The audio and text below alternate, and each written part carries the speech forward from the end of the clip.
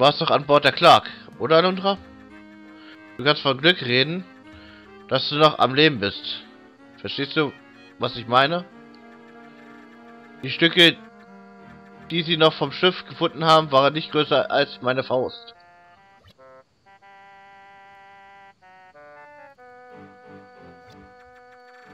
Aber lass uns nicht davon sprechen. Reden wir über dich, mein neuer Freund. Du kannst bleiben, bis du wieder ganz gesund bist. Lieber nein, wenn du gehst, werde ich wieder ein einsamer, alter, fetter Mann sein. Aber deswegen solltest du dir keine Gedanken machen. Oh je, das hätte ich fast vergessen. Das Buch neben dem Bett? Ein ganz besonderes Tagebuch. Du willst es benutzen? Okay. Ich habe es mal für mich gekauft, aber es steht immer nur... Aber heute ein Schwertgeschmiede drin.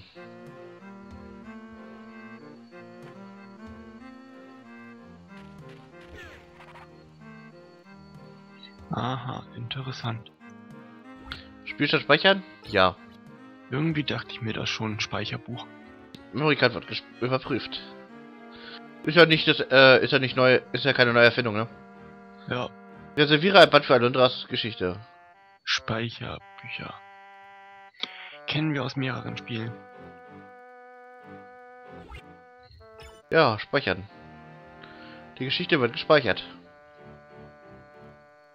Yay, unser erster Spielstand. Wow. So. Was machen wir denn jetzt? Erstmal runtergehen.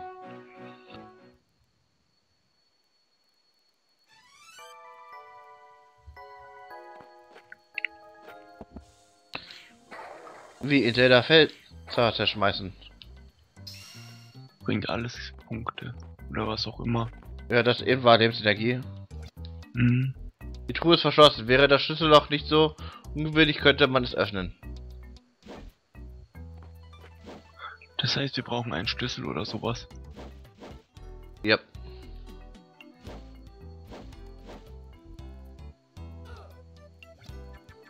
Oh je, dieses Dorf, äh... Oh je, in diesem Dorf leben sehr viele Menschen. Hast du die schon alle getroffen, Alundra? Nö. Du fühlst dich stark genug, um ins Dorf zu gehen? Das ist gut. Die Dorfbewohner von Inua sind sehr nett. Nicht so nett wie ich, aber immerhin versuchen sie es.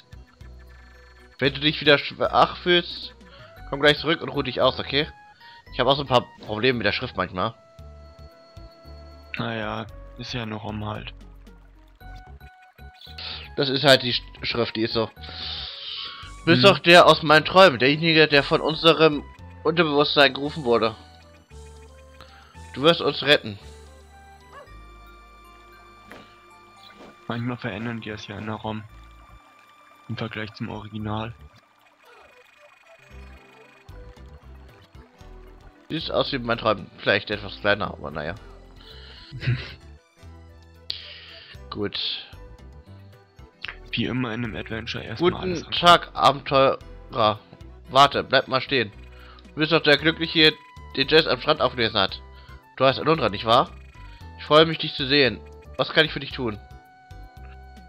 Man sieht hier eine Lebenserweiterung. Was der Schrank macht, weiß ich nicht mehr. Das ist zur Heilung. Das ist auch eine Heilung, nur schwächer. Das hier erhöht meine Abwehr. Sieht fast so, als ob das ein Energietrank oder sowas ist. Das rechts die Flasche. Mhm. Oder ein Heilungstrank, wer weiß. Hier sieht man halt, was die andere Ausrüstung haben, wie meine Schuhe, die Rüstung hier, ne? Und halt andere Sachen. Man sieht dann noch rechts Geld, goldener Falke und ein Schlüssel. Also man kriegt dann irgendwas, äh, wenn man eine gewisse Anzahl an goldenen Falken hat. Hm. Und äh, ist halt nicht unbedingt einfach, das zu bekommen. Oder zu finden. Am Anfang ist es leicht, aber halt dann später, ne? Wird schon immer schwerer, wie man es ja von Spielen kennt. Muss ja so sein. Ich glaube, es gab 99 Stück davon. Kommt mir irgendwie bekannt vor. Goldene Falken, Ja, goldene andere Tiere.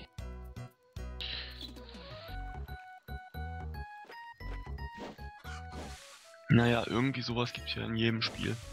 Aber lustigerweise war ich tatsächlich in der Überlegung, mal Sparrow zu spielen. Wo es, mal, nicht so viel Spaß machen würde wie dir. Hm, ich glaube bei dir sind eher der Junge, den Strand gefunden hat. Ich bin... Juste? Just, Justel. Ich kann die Geheimnisse der Zukunft lüften. Wenn du dein Schicksal wissen willst, stell dich vor meiner Kristallkugel. Justel. Interessant. Willst du etwas über dein Glück wissen, Elisa? Ja. Oh, jetzt kann ich es sehen. Dein Weg ist in meiner Kristallkugel zu erkennen. Oh, jetzt wird's interessant. Zuerst solltest du die Dorfbewohner von Inur begrüßen. Das hat mir nicht die Kugel gesagt. Das gehört sich einfach so. Dir deine, hat dir deine Mutter gar nichts beigebracht? War Interessant. doch schon. Ich habe nur alles vergessen. Du willst doch mehr wissen, Elisa? Meine Weisheit kostet dich nur die Kleinigkeit von 50 Gold, okay? Ja, hab ich nicht. Hm. Ja, du bist ein Geizhals. Das hat man mir auf der Arbeit auch schon gesagt. Die Dunkelheit breitet sich vor deinen Augen aus. Aber in deinem Herzen scheint das Licht und du gehst ohne Furcht weiter. Stärke und Zauberkraft sind wieder voll aufgeladen. Wenn du dich verirrst, komme ich hier zurück und die Kristallkugel wird dir den richtigen Weg zeigen. Also sprich, wenn wir mal nicht wissen, was wir tun sollen, hierher kommen und dann nachfragen. Ja. Das kostet halt 15 Gold Gulden. Gulden. Interessant. Luthers sagt, mit Wendel geht es zu Ende. Wie furchtbar muss es sein, in diesem Bett zu liegen und in seinem eigenen verwesenden Körper gefangen zu sein.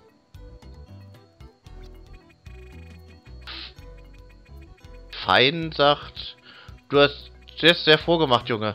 Ich habe ihn lange nicht mehr so glücklich gesehen. Mir ist gerade eingefallen, dass mein Sohn jetzt in deinem Alter wäre, wenn er nicht bei der Geburt gestorben wäre.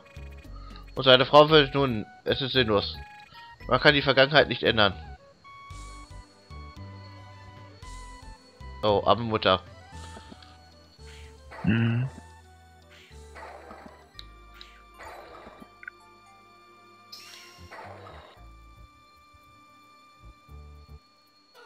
Wie immer alles plündern. Kennt man ja nicht anders. Ja. Äh. Okay, abgeschlossen. Vielleicht kommst du da später noch rein. Ja, ich denke mal schon, ne? Gut, äh. Jetzt will ich mich auf jeden Fall noch mal ein bisschen umschauen. Oh, wer bist du denn? Kline? Wer bist du? Oh ja, der Junge vom Strand. Repariere gerade dieses Tor. Vielleicht können wir uns später unterhalten. Ach, dann haben wir doch mal ein Wort, Junge. Ähm. Bonaire. So, du bist der, über den alle sprechen. Na sauber. Bist direkt im Zentrum der nicht existierenden Vergnügungsindustrie gelandet. Die Mittel sind nicht schlecht und die Brandung ist spitze. Bra, tut mir leid. Alter Fox. Alter Fauxpas oder was? Könnte sein. Komm näher, so, damit ich dich besser sehen kann. Wir haben hier nicht so viele Besucher. Okay, wie soll ich denn näher kommen? Ja. Ach, geht ja nicht.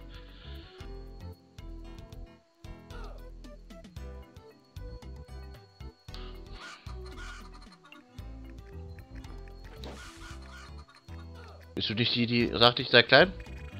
Ja, ja, ich habe von dir gehört, der Junge vom Strand.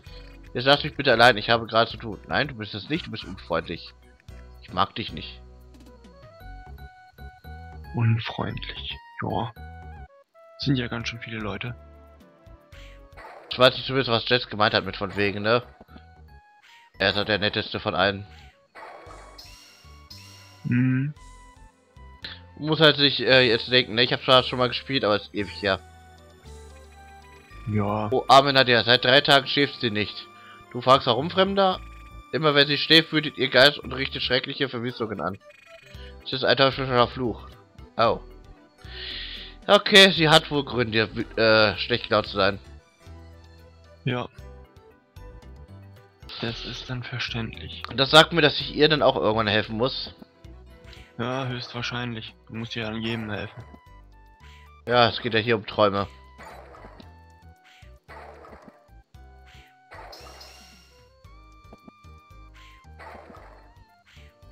Aber man kann das Spiel auch schon so leicht mit Zelda vergleichen, glaube ich, die 2D-Teile. Ja. Nur, dass äh, Link nicht springt. Naja, selbst. jedes Spiel hat so Besonderheiten dabei.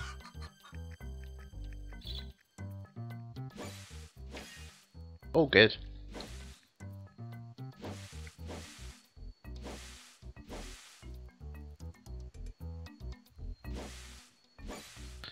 Yay, noch mehr Geld. 16, so langsam wird's. Es ist verschlossen. Warum ist es verschlossen?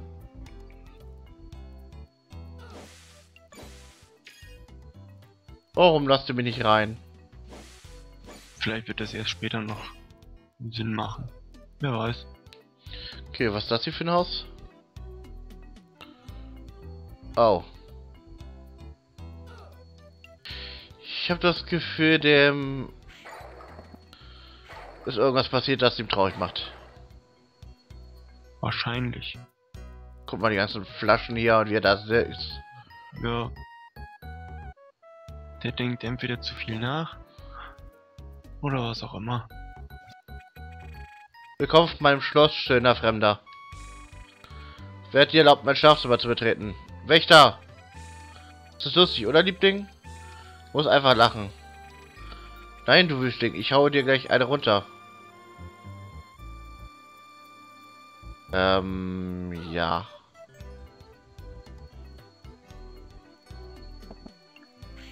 Was zur Hölle ist mit der los?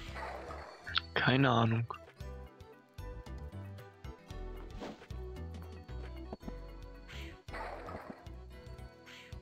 Du zertrümmerst ja erstmal alles, was Kisten sind. Jo, natürlich. Könnte ja was versteckt sein. Okay, hier scheint aber nichts zu sein.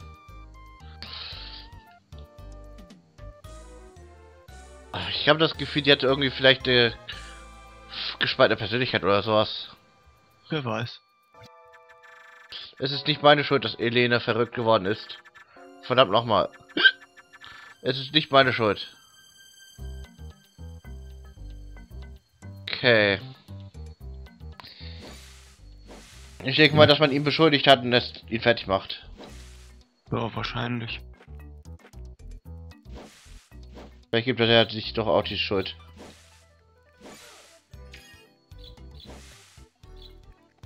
Vogelgezwitscher. Yay.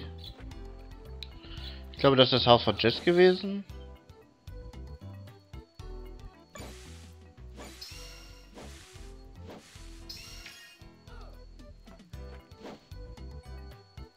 Und du bist?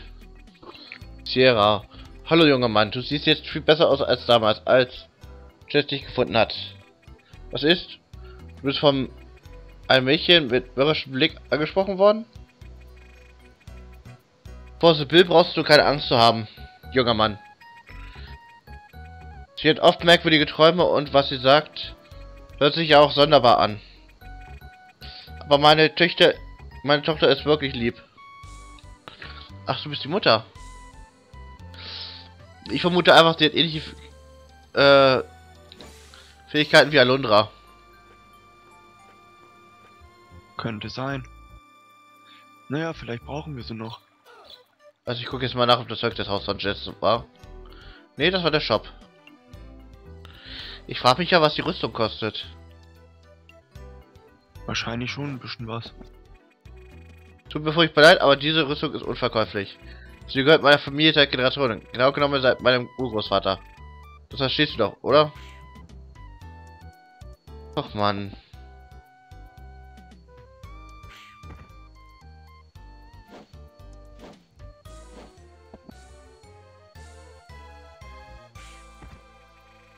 Erlebst jemand? Kommt ganz schön teuer. Kommt ganz schön teuer. Den wählen nur die, die Klugen. Das kostet 500 Gulden, okay? Nee. Ich bin leider nicht das. Tut mir leid, dass ich nicht mehr tun kann. Sag Bescheid, brauchst. 500 Gulden, meine Fresse. Teuer! Bisschen teuer. Ja.